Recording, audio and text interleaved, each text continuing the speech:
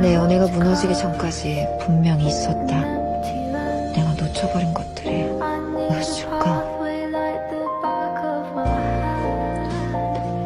뒤집어 놓은 핸드폰? 어쩌지? 나 지금 회사 들어가 봐야 될 것 같은데. 갑자기 생긴 일정. 아, 미안. 진짜 미안. 입버릇처럼 나오는 미안해.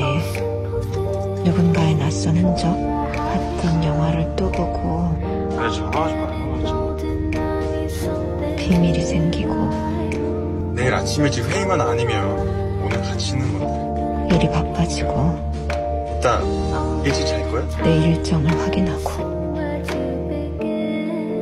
내가 왜 몰랐을까?